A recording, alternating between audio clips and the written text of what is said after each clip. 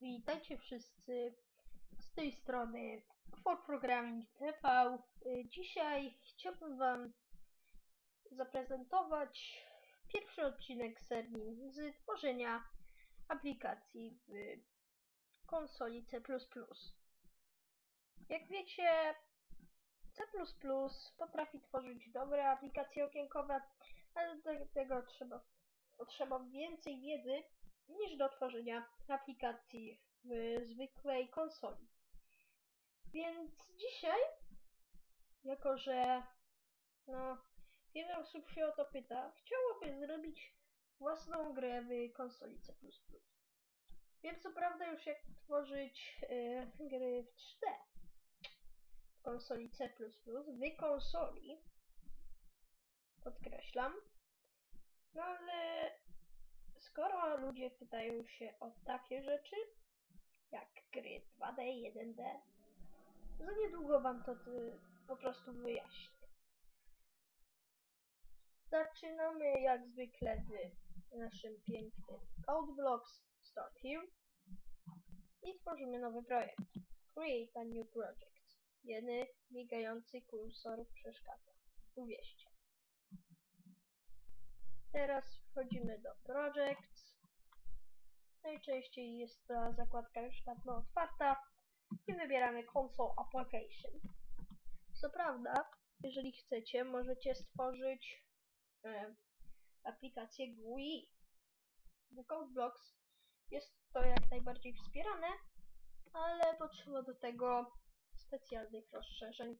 Nam nie są one potrzebne, gdyż będziemy to wszystko robić w konsoli. Go! Wybieramy język C++, gdyż w języku C yy, według mnie trudniej jest pisać programy. Tym bardziej, jeżeli większość z Was korzysta z tego, co rozumiem, z Linuxa. Yy, chwila.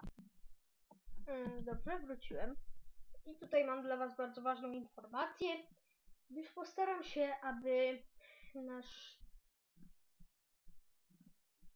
aby nasz projekt, nasza seria była tworzona filmikami cotygodniowo. Oczywiście postaram się wysłuchać Waszych pomysłów na ulepszanie gierki. No, załóżmy, że będzie to się nazywało projekt MG. Dobrze. Wybieramy kompiler GNU GCC. Tutaj mamy wiele innych kompilerów. Wszystko zależy od tego, jaki Wam pasuje oraz to, jakiego Wy wolicie używać. Ja wolę GNU, gdyż jest po prostu dla mnie najłatwiejszy i ja osobiście z niego bardzo dużo korzystam. Tutaj mamy taki podstawowy program wyświetlający nam na ekranie napis Hello World. Usuńmy to. Tą linijkę, która umożliwia nam napisanie Hello World. E, Program zwraca wartość 0 i to właściwie cały on. Wdyknijmy kilka bibliotek. Aż tak. Include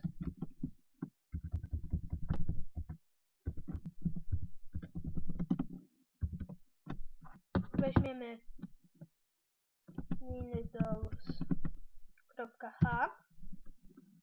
dzięki tej bibliotece będziemy mogli e, brać komendy z naszego oryginalnego CMD z Windowsa. Będziemy mogli używać funkcji BIP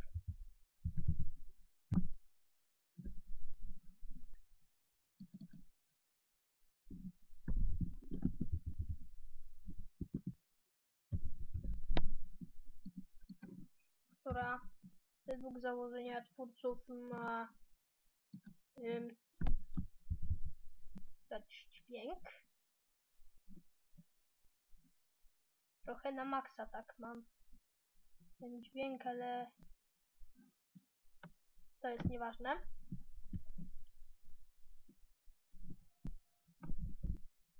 Nikomu jeszcze dużo dźwięków w końcu nie zaszkodziło. Tak właściwie zaszkodziło i to wielu osobom.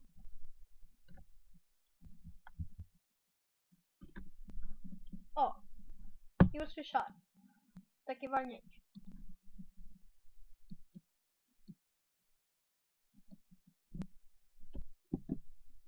Jeden przecinek jeden. Zobaczmy. Może to coś działa.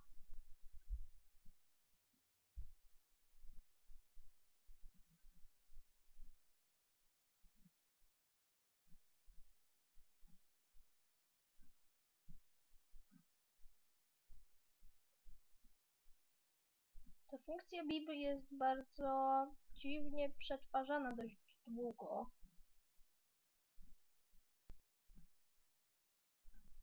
Nie usłyszałem dźwięku. Dobrze, nie będziemy jej na razie używać. Głównie będziemy korzystali z, z, z komendy system i podepniemy sobie jeszcze dwie biblioteki.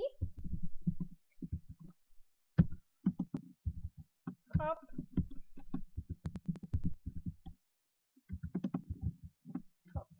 Pierwsza to będzie CSTD. CSTD lib. Następna to będzie SIMA.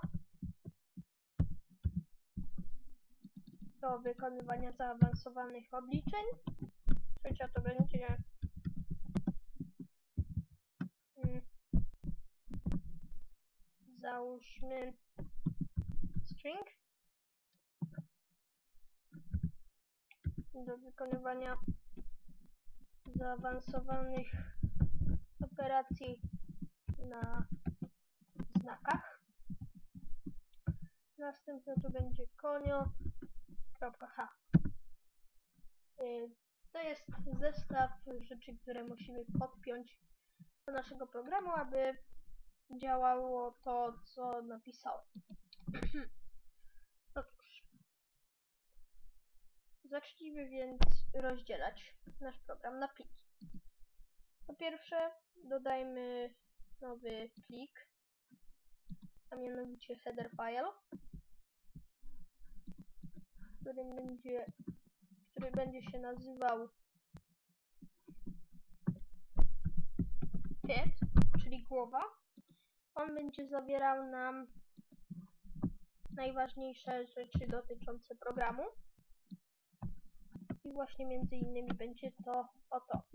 Hop, przyklejamy sobie, a tutaj wstawiamy hashtag include. I teraz zamiast nawiasów to takie jak to się nazywało, cudzysłowie. O. i podpinamy plik head.h zapisujemy wszystko. To sobie kopiujemy nie wycinamy to jest ważne, bo do kilku filename'ów czyli właściwie to zobaczę.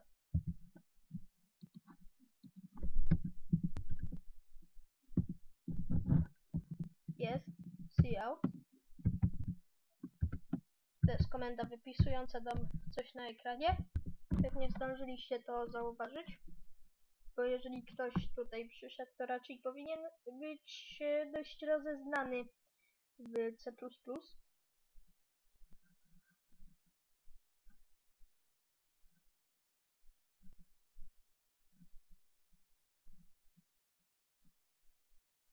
No dawaj.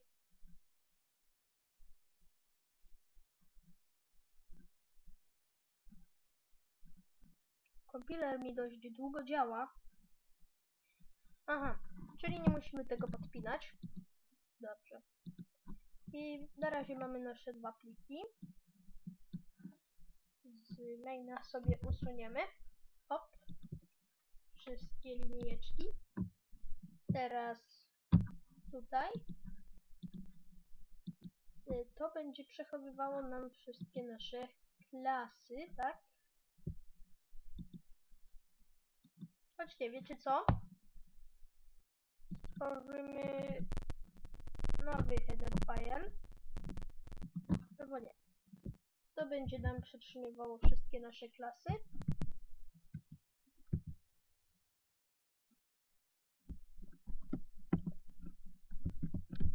Klasy.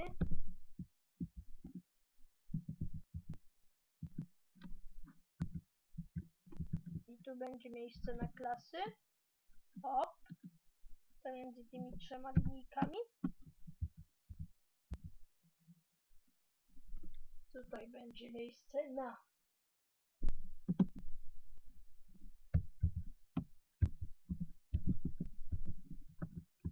obiekty.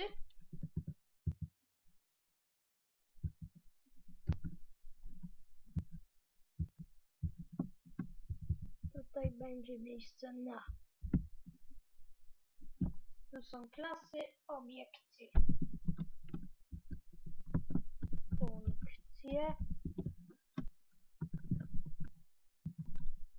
Hop. I na razie zostawimy sobie o tak. Tutaj mamy klasy, obiekty i funkcje. W klasach tworzymy sobie właściwie bardzo dużo klas, ale na razie wystarczy nam to, co mamy. Y, Żegnam się z Wami do następnego odcinka, który wrzucę właściwie jeszcze dzisiaj. Cześć!